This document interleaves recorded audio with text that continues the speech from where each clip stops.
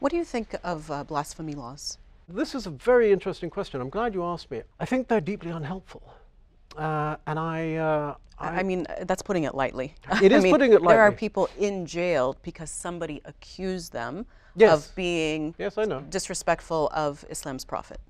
Well, I think we have an issue with the whole uh, concept of respect. Uh, for example, um, I, I, I, just assume uh, um, artificial intelligence decides one day I'm going to poke fun at the Muslims, uh, uh, say in 50 years' time. And uh, artificial intelligence comes along and says, I'm going to put out on every single person's mobile phone a, a, a little cartoon of the Prophet, making fun of him.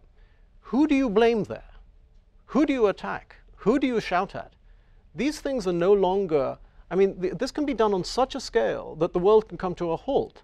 Uh, this is theoretical. I mean, can't we just, I, I, mean, can you say flat out that all blasphemy law should be abolished and that it is contrary to human values? What I can say is that it has a negative effect on the way in which we will, will take our uh, lives forward if, as in some countries, they've now proposed that not only should the Prophet be untouchable, but his wider group of followers, anything related to, well, we'll never have a serious discussion about Islam and the way in which we are. So the blasphemy laws empower uh, the very, very strict traditionalist, uh, and it's, it's handing over power to people that we don't necessarily uh, want to hand over power.